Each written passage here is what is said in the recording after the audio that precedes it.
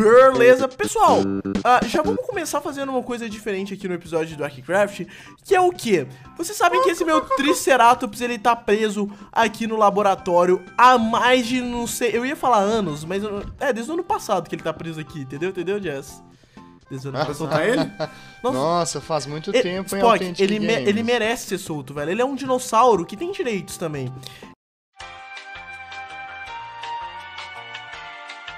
Enfim, a gente vai como Eu a gente acho.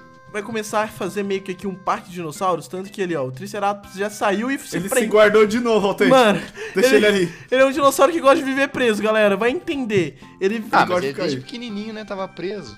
ele gostou, ele gosta de, ele não gosta de, de sair pra curtir a Toca